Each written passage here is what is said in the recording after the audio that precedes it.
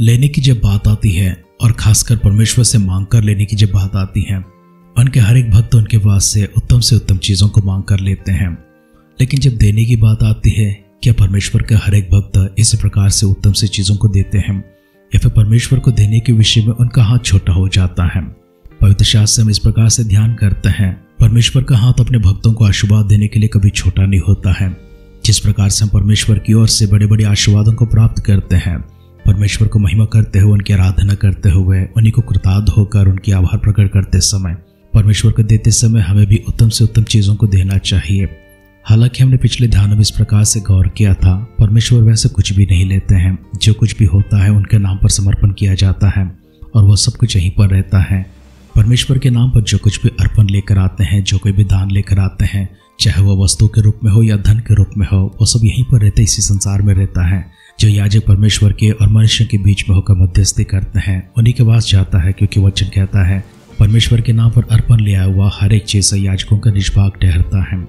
लेकिन परमेश्वर ये देखना चाहते हैं, जिस प्रकार से याजक मनुष्य के और परमेश्वर के बीच में होकर उनके लिए मध्यस्थी करते हैं, उनके लिए प्रायश्चित भी करते हैं, पश्चाताप भी करते हैं, उनके पक्ष में होकर प्रार्थना निवेदन करते हैं। परमेश्वर की अनुग्रह मनुष्य के ऊपर उतराने के लिए, परमेश्वर की बरकतें और आशीर्वाद मनुष्य के पास पहुँचने के लिए याजक जिस तरह से पूर्ण मन के साथ में, पूर्ण श्रद्धा के साथ में और पूर्ण भक्ति के साथ में मनुष्य के लिए करते हैं, उसी प्रकार से याजकों का निष्भाग ठहरते हुए परमेश्वर के नाम पर जो कोई भी अर्पण जाते हैं, परमेश्वर चाहते हैं उनके भक्त गर्भी श्रद्धा के साथ में लेकर आए, निष्ठा के साथ में लेकर आए, भक्ति के साथ में लेकर आए, भय के साथ में लेकर आए और लेकर आते समय उत्तम से उत्तम चीज़ों को लेकर आए। इसलिए परमेश्वर ने लेने के विषय में और देने के विषय में भी विधियों को रखा है। आयोजन के अध्ययन में आगे बढ़ने से पहले अपने आप को परमेश्वर के हाथों में समर्पण करेंगे। हम मिलकर दुआ करेंगे, परमेश्वर का धन्यवाद भी कहेंगे। बीते हुए सारे दिनों के लिए, आशीर्वादों के लिए और इस नए दिन के लिए नए आशीर्वादों के लिए परमेश्वर का अगुवाई हमारे साथ में होकर हमसे बातें करने के लिए, अपने अभिषेक भरा हाथ हम पर रखने के लिए, अपनी आशीष माँ स्पर्श हम पर लेकर आने के लिए और डेरों बरकतों के साथ में परमेश्वर हमें छूकर इस हिस्सा में तंदुरुस्ती सामत से भरने के लिए हम सब लोग एक मन होकर, एक आत्मा में, एक आवाज़ में मिलकर दुआ करेंगे। हमारी प्रार्थनाएँ सुनकर हम तक उत्तरों को पहुंचाता हुआ सर्वशक्तिमान पिता परमेश्वर अनुग्रह और प्रेम से भरा हुआ खुदाबंद फिर से एक बार धन्यवाद करते हैं। न केवल परमेश्वर के स्थान लेते हैं, परंतु प्रभु हमारे पिता के भी स्थान लेते हैं। हमारी सहायक के, सलाहकार के और हमारे सांत्वनादायक के स्थान को भी लेते हैं। परमेश्वर, इस संसार में ऐसी कोई जगह नहीं है जो आप नहीं ले सकते हैं। ऐसे कोई संबंध और रिश्ता नहीं है परमेश्वर, जो आपसे बढ़कर है। इसलिए हम अपने आप को दीन और नम्र करते हुए आपकी दिव्य उपस्थिति में, आपके सानिध्य में समर्पण करते हैं। क्योंकि प्रभु, आप हमारा देख रेख करते हैं देखभाल करते हैं। हमारा ख्याल रखने वाला परमेश्वर, आप जानते हैं कि हमें किस चीज़ की ज़रूरत है? चाहे वस्तु रूप में हो, धन के रूप में हो, या फिर प्रभु जी शब्द के रूप में हो, या आपके स्पर्श के रूप में हो, तंदुरुस्ती के रूप में हो, अभिषेक के रूप में हो, हर एक विषय को आप जानते हैं। यही कारण से परमेश्वर हम आपकी पास न करते, आपकी महिमा करते हैं, आराधना करते हुए अपने आप को आपके हाथों में लेकर आते हैं। हमें छूने के लिए, हमसे बातें करने के लिए, हमें अपने बरकतों से भरने के लिए दुआ करते हैं। हमारे जीवन में जिस चीज़ की कमी है, प्रभु जो आप जानते हैं, उसे हम तक तो पहुंचाएँगे, इसके लिए आपको शुक्र अदा करते हैं। आगे के समय आपके वचन से आप हमसे बातें कर रहे हैं। इसके लिए भी आपको धन्यवाद करते हैं, आभार प्रकट करते हैं। हमारे सारे परिजनों को आपकी नज़रों में लेकर आते हैं। यदि कोई कमज़ोर है, बीमार है, किसी कारण से पीड़ित और लाचार स्थिति में है, आपकी चंगाई भरी हाथ के लिए आपकी सहायता भरी स्पर्श के लिए दुआ करते हैं।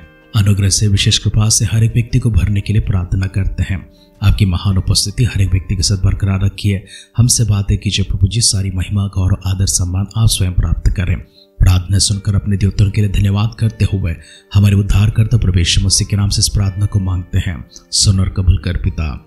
आमेन आमेन आमेन।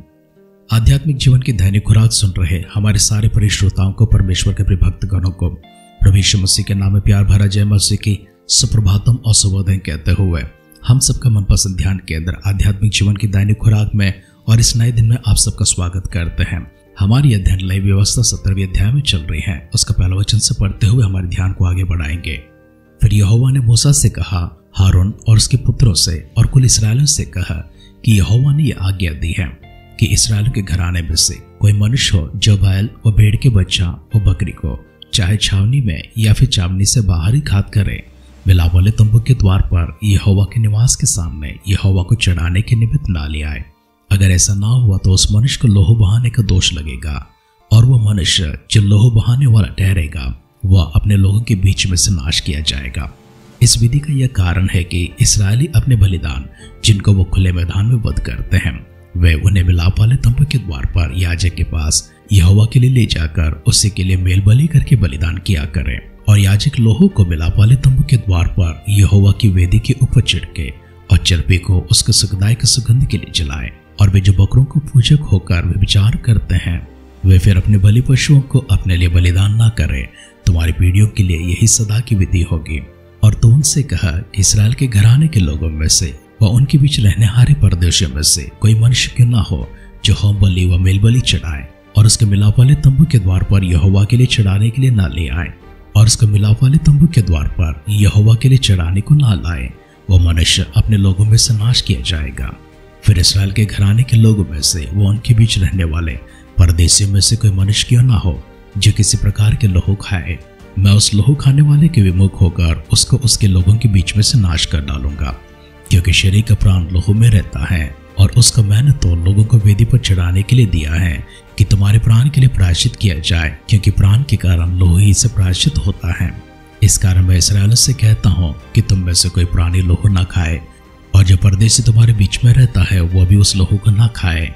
और इसराइलियों में से और उनके बीच रहने वाले परदेशियों में से कोई मनुष्य क्यों ना हो, जो हार करके खाने के योग्य पशु, व पक्षी को पकड़े, व उसके लोहो को उंडेल कर धूली से डांप दे क्योंकि शेरी का प्राण जो है, वो उसका लोहो ही है, जो उसके प्राण के साथ एक है। इसलिए मैं इसराइल से कहता हूँ कि किसी प्रकार के प्राणी के लोहो को तुम ना खाना, क्योंकि सब प्राणी का प्राण उनके लोहो में ही है। जो कोई उसको खाए वो नाश किया जाएगा। और चाहे वह देसी हो वह परदेसी हो, जो कि किसी लोथ व फाड़े हुए पशु का मांस खाए, वो अपने वस्त्रों को धोकर जल से स्नान करे और साँझ तक अशुद्ध रहे तो वह शुद्ध रहेगा। और यदि वह उनको ना धोए और ना स्नान करे तो उसको अपने धर्म का भार स्वयं उठाना पड़ेगा। पढ़ाओ वचनों से तीन बातों को हम लोग गौर करते हैं। सबसे पहली बात यह है, परमेश्वर ने इसराइलों को यह बताया, बलि चढ़ाते समय या फिर अर्पण लेकर आते समय अश्रद्धा या फिर लापरवाही के साथ नहीं होना चाहिए। अगर कोई व्यक्ति बलि चढ़ाते हैं, उसे मिलाप वाले तंबू में करना होगा। कोई मैदान में ना करें। कहीं पर किसी पशु को मार दे या फिर कोई मरा हुआ पशु को लाकर यहोवा के सामने रखकर उसे बलि ना कहना।